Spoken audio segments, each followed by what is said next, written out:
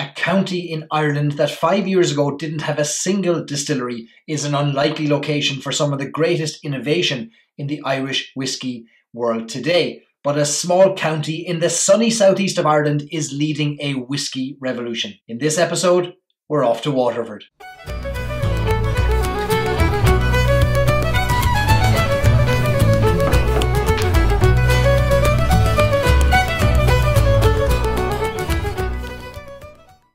Welcome to episode number 19 of Stories and Sips, the second episode of 2019, and we're heading due east from the last episode where we went behind the scenes at the old Midleton distillery. This week, we're an hour's drive from Midleton in a county whose name and capital city to most Americans and especially to generations of Irish Americans is synonymous with the famous crystal that for years was the standard gift for weddings in Ireland and the United States.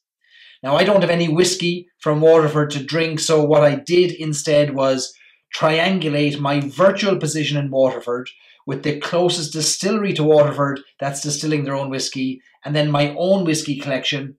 And lo and behold, I found myself back at Midleton again. And so I'm toasting this episode with a nice, generous pour of Green Spot in my lovely Tua Irish whiskey glass. So sláinte. I am, however, representing Waterford by having this random piece of Waterford crystal in the shot full of M&Ms.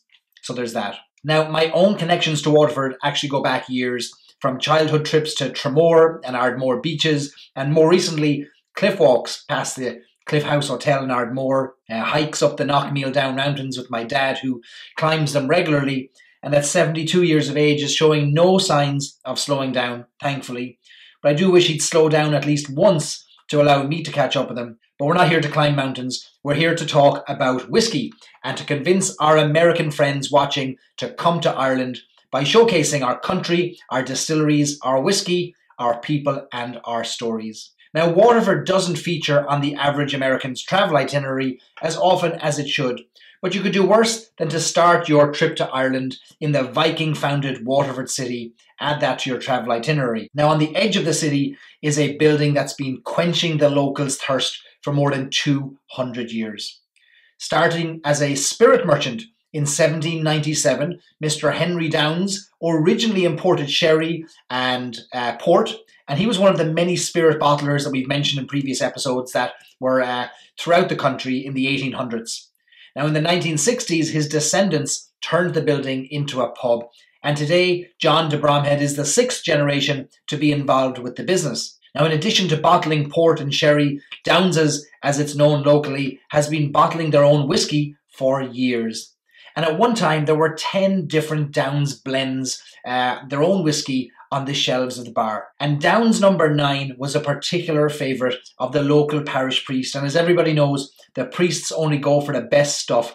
So over time, the other blends were abandoned in favour of Downes number nine. It's still bottled to this day and available in Downes's, but according to the owners, as of yesterday, stocks are low, so if you're going to try it, get in there fast. Now, the bar hasn't changed much since the 1960s, and why would it? Doesn't it have everything you need?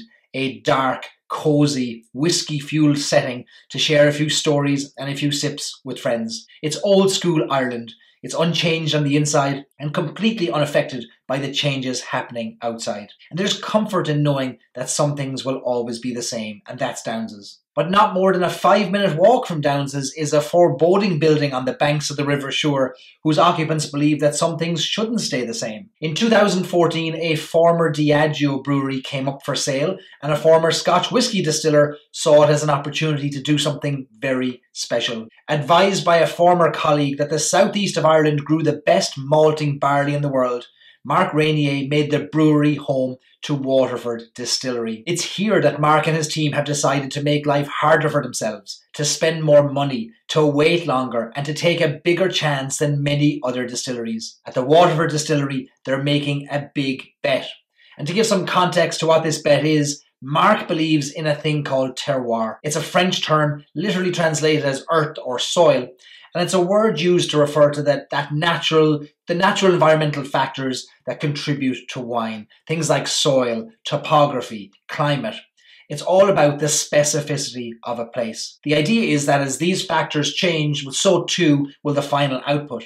And the more you know about these factors and work in harmony with them, the more unique a product can be derived. Now, Waterford Distillery is uniquely applying this thinking to Irish whiskey, and a large sign hangs on the distillery referring cleverly to Ireland's terroir. So, Mark and his team are making a bet that terroir exists in the whiskey world just as it does in the wine world and they're building everything around it. So, what does this mean in practice? Well, because the most important ingredient in whiskey, of course, is barley, Waterford Distillery is not buying unknown or untraceable barley from just a single source, but instead they've sourced their barley from 72 different local growers, including some organic and biodynamic growers too. And each farm's crop is kept separate from field to distillery, an enormously arduous task. And between both of these points, between the field and the distillery, they're storing the barley in what they call their cathedral of barley before being distilled then separately. So they firmly believe in Waterford Distillery that the differences in terroir from farm to farm, from field to field, are sufficiently different to yield very different whiskies, perhaps vastly different. So we might see a time when individual farms lead to individual whiskies consisting of their crop only. That's the idea and that's the big bet. And in Waterford, they've even hired an agronomist a role dedicated to fostering that relationship between the individual farmers and also to strengthen the distillery's understanding of barley, this most important of ingredients. Now, the team at Waterford are quick to share that terroir and provenance, while central to their operation, are the journey and not the destination. It's what gets them closer to that end product. So, their aim is to capture all the flavours of those individual terroirs and then to enjoy the differences that barley varieties and the farms and the fields give us but then to let those differences be enhanced by a very expensive wood policy. Super premium French oak, American oak, virgin oak. So they're bringing all of these maturing terroir derived flavors back together to create, in their words, the most profound single malt ever produced. A grand vin bottling or the ultimate in complexity. What I love about Waterford Distillery is that they follow the story of their farmers all year round they cover the growing, the ups, the downs of the harvest via social media. And they have fantastic images and videos showing us the people behind the whiskey. And every step of the process is documented, it's shared. There's nothing hidden. And from what I can tell, there's very little edited. It's just raw footage day after day on the Waterford Distillery social channels. So, as a whiskey drinker, what does this mean to you? I mean, does it mean anything? I know for me, as both a story nerd and a whiskey lover, it does make a difference. And we're seeing this shift in consumer expectations in other areas like food production. We want to know where everything comes from. I mean, if we didn't know where our raw meat came from, would we eat it? Many wouldn't. And why should it be any different with whiskey? See, at the very least, it gives us the choice to make a decision whether provenance and terroir matters to us, but we have the choice. Now, it's going to be a few years before we'll see the fruit of those efforts, and the bet is a big one, an expensive one. But I think this effort will more than just pay off because it'll raise the standards for whiskey production and it'll educate customers on the process. And I think that's good for everyone. Now, an hour's drive west of Waterford City, uh, just on the Cork and Waterford border in Ballyduff, the focus on transparency and provenance continues. So in November 2018, Blackwater Distillery became the 21st active distillery in Ireland a huge leap from the three that existed when I was growing up. And Blackwater Distillery is led by renowned Irish whiskey author and broadcaster uh, Peter Mulryan. And in 2015, Blackwater Distillery entered the market with Blackwater Number 5 gin, what has become the most awarded gin in Ireland. And also their famous Barry's Tea gin. The Irish love getting their tea into them, even if it's distilled into gin. The fact that probably helps. And not, not unlike Mark Reynier, Peter's focus is on ensuring that the customer has all the important information needed to make a decision about where they visit, what they buy, what they're actually drinking. And so, to facilitate this, Blackwater Distillery is implementing a blockchain technology that, when fully implemented, will allow you to scan a bottle of whiskey on a shelf and instantly review the series of events that went into its production. You might see a photo of the farmer on the day the barley was harvested, maybe a video of the truck carrying the barley to the distillery, a webcam recording of the moment distillation began.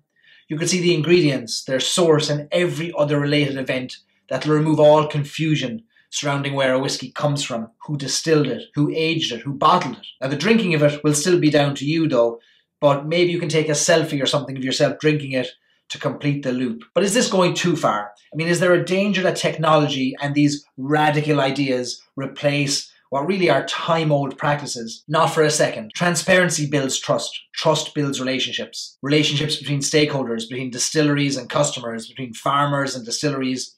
I mean, that can only be a good thing for the industry and for the consumer. And when I asked Peter why customers should care what he's doing, this was his response. Simple, he said. We put the customer at the center of everything we do. It's not about being clever or on trend, it's about being honest. We make gin, here's our still. We bottle our gin, here's our bottling line. We make whiskey, here's our still. This is how we make it, now it's over to you. So, distillery managers and owners, if you're watching, I think there's an important message here. Tell us what you make. If you're not making it, tell us where it comes from. Tell us where it's aged, by whom, and give us, the consumers, information to make the right decisions for us. And if you don't tell us, we'll wonder why you're not telling us. And if you're hiding this, what else are you hiding? It's not difficult, but it does require intent. You need to want us to know everything about the product. And that's what Waterford and Blackwater distilleries have committed to. Now, I'm sure I'm not alone in saying that I'll spend my money with those I trust more than those that have knowingly manufactured a consumer friendly history or a fancy label that uh, hopefully will wow the customer sufficiently that they won't ask what's inside the bottle. What I love about both of these distilleries is that they're not trying to be fashionable. They're not chasing a fad. They're not. All, they're also not doing it the easy way.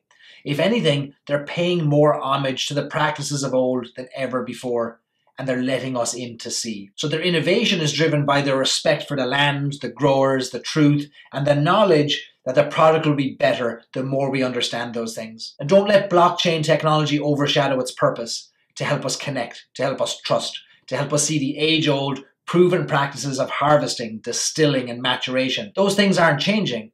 What we as customers get to see is. And that for me is the real innovation. Not technology for technology's sake, but to pull back the curtain and perhaps make a pretty good whiskey along the way. I think it was Einstein that came up with the famous formula vision plus technology plus ingredients multiplied by time plus honesty divided by Angel's share equals great Irish whiskey. And don't tell me you don't trust Einstein. There are many definitions of revolution, but Mark and Peter probably wouldn't for a second embrace any of them. So I'll share my favourite definition and I'll oppose it upon them instead. A fundamental change in the way of thinking about or visualising something. Look, call it what you like, but that's what's happening in Waterford. So what have these two groundbreaking distilleries got in common with Henry Downes pub in Waterford City? After all, Downes's hasn't changed in years, but for my money, it's authenticity. Downes's survived when pubs all around it closed. They didn't have to change what wasn't broken. They knew their customers and what they wanted. They had a good product and they kept serving it. And isn't that all the distilleries are doing too? They're in Waterford, they're understanding their customers and serving up what they want. Which leaves me only one thing to discuss. Where did the E go? Both Waterford and Blackwater have cast the E in whiskey aside. Why? Well, the deeply held beliefs of the two contrarians in Waterford is that the E was only added as a marketing trick and that the authentic, historically accurate way to spell it is minus the E. Or they're saving on printing costs. Either way, I have no intention of arguing with them. There's also no E in innovation. Coincidence? I don't think so. And finally, there is one more revolution in Waterford, Revolution Bar, which happens to have one of the largest, if not the largest, collections of Midleton whiskies publicly on display and for sale anywhere in the world, including a complete collection of Midleton Very Rare with every year from 1984 to the present day. Bring your checkbook. So Waterford has all the whiskey you need. What's stopping you from going? Slàinte.